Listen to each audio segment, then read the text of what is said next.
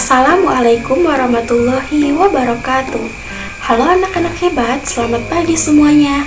Apa kabarnya hari ini? Alhamdulillah.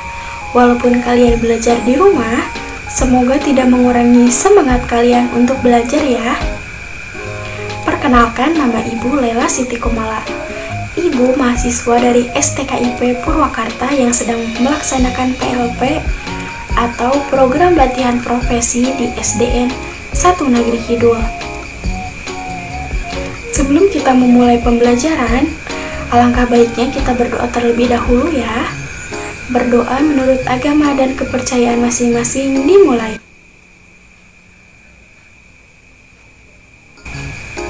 Berdoa selesai.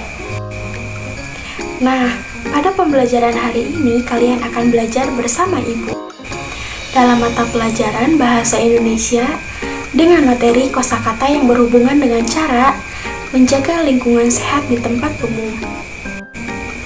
Anak-anak menjaga kebersihan tidak hanya perlu dilakukan di rumah, di sekolah, ataupun di tempat bermain. Namun, kita juga perlu membersihkan di tempat umum. Apa itu tempat umum? Tempat umum merupakan milik bersama Artinya, semua orang berhak atau boleh datang ke tempat tersebut.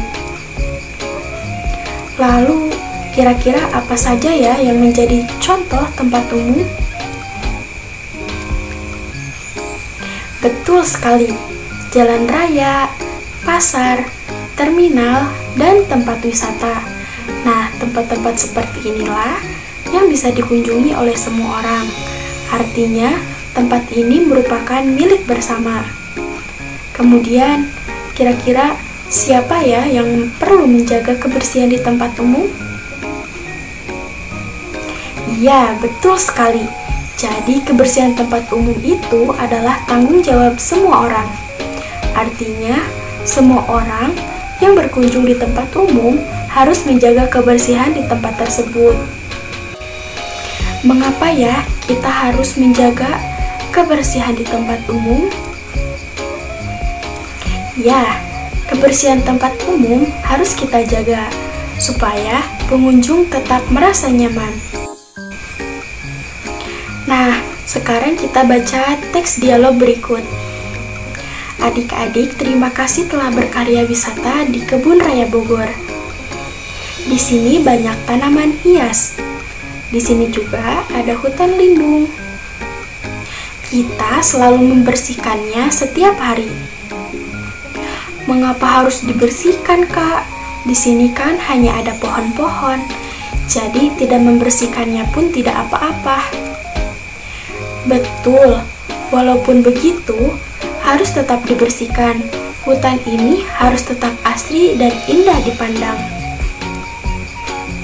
Nah, dari teks percakapan tadi, ada beberapa kosakata yang berhubungan dengan cara menjaga lingkungan di tempat umum. Yuk kita lihat satu persatu. Nah, kosakata pertama yang berhubungan dengan kebersihan tempat umum yaitu karya wisata. Karya wisata artinya kunjungan ke suatu tempat dalam rangka menambah pengetahuan Lalu kosakata yang kedua yaitu tanaman hias.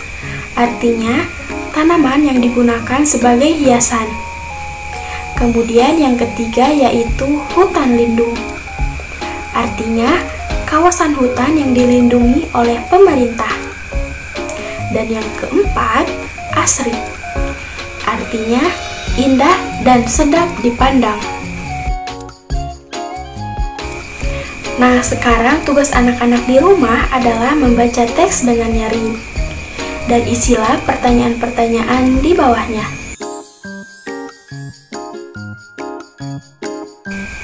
Jadi anak-anak, itulah beberapa kosakata yang kita pelajari hari ini yang berkaitan dengan cara menjaga lingkungan sehat di tempat umum. Oke, sampai di sini dulu ya materi kita hari ini. Sampai jumpa di materi selanjutnya. Wassalamualaikum warahmatullahi wabarakatuh.